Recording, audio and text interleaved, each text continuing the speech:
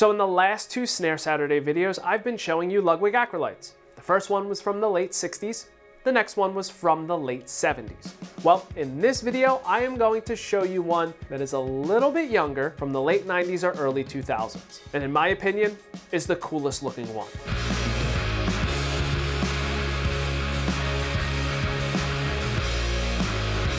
What's up everybody, Nick Costa here, and in this video, I'm gonna be showing you the Black Galaxy Ludwig Acrolite. This is the student model snare drum that everybody has come to know and love. The difference is, is that it has a cool black galaxy finish. And I don't know about you, but that finish is the reason why my parents and I picked this drum out when I decided to start taking drum lessons in fourth grade. Now, before we dive into this video, make sure you hit the subscribe button, as well as the bell notification, that way you're notified of any additional content that I upload to the channel. Now once again, brief history on the Ludwig Acrolite. This drum was designed to be a more affordable option for students and schools. Now with the original Acrolite, Ludwig took a Supraphonic, a chrome over aluminum drum. They got rid of the chrome plating and instead of it being 10 lugs, brought it down to 8 lugs. By removing that chrome finish and two lugs from the drum, they were able to lower the production cost to then offer the drum at a more affordable option for students and schools. This is the reason why if you are searching for an acrolite, most of the time you'll see that they are coming with cases, sometimes drumsticks, a snare stand, even a methods book. So the drum that I am showing you today is a little near and dear to my heart because this is the first snare drum that I ever had. Now the difference is, is that my very first drum, which I still have, is the one that I decided it would be a good idea to drill four two and a half inch vents in when I was in high school.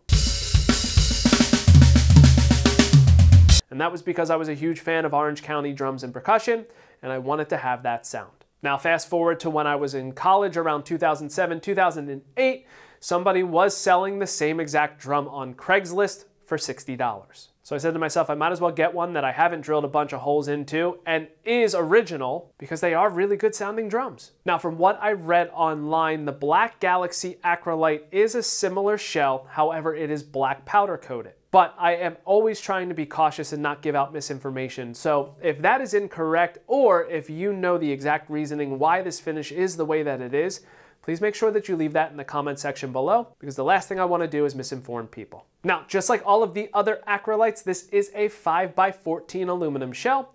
It's got eight double-sided bow tie lugs, and it has a Ludwig P85 throw-off from this era. So rather than having the black front with silver Ludwig script, it is a completely silver throw-off. And once again, if you have experienced this throw off, then you are well aware of it. And let's just say I'm really happy that Ludwig designed the new P88 to fit in its place. Now when I bought this drum, it was in really good shape. It was just really dirty. So I cleaned the drum up, made sure that everything was working. I installed the drum heads of my choice, which are a Remo Ambassador X coated on the top and a Remo Ambassador snare side on the bottom. Now for snare wires, I did put a set of World Max German snare wires because for the price, they sound really good. Now this drum does have an internal muffle just like the other Acrolites did. It's the round puck version and it also has a round knob on the outside. So just like every other Snare Saturday video, I'm going to play this drum through a few different tunings and while I'm in each tuning, I will start out with the internal muffle disengaged and then engage it so you can hear the difference that it makes. So enough of me talking, let's dive into playing.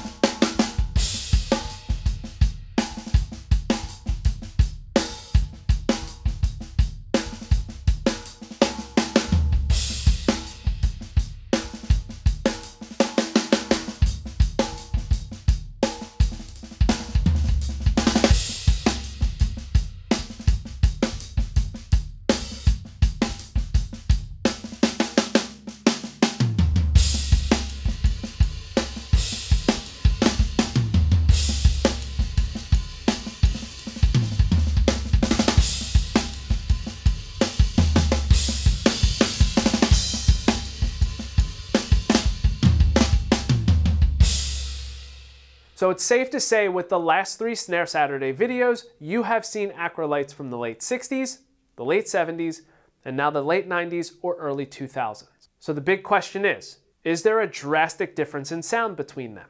Now, if you've watched all three, feel free to leave that in the comment section below.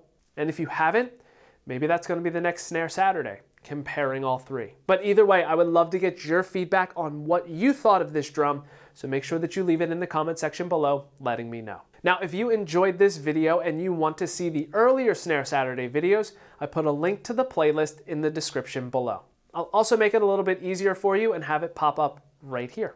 Now, if you've made that decision that you want to get an Acrolite for your collection and you want it to be a vintage model, but you're unsure of which one to get, feel free to ask the questions in the comment section below as well, and I'll try my best to answer them. Finally, if you enjoyed this video, please make sure that you give it a thumbs up. That way it makes it a little bit easier for others to find it. And that is it. Thank you so much for checking out this video on the late 90s or early 2000s Ludwig Acrolite. And until next time, See you later.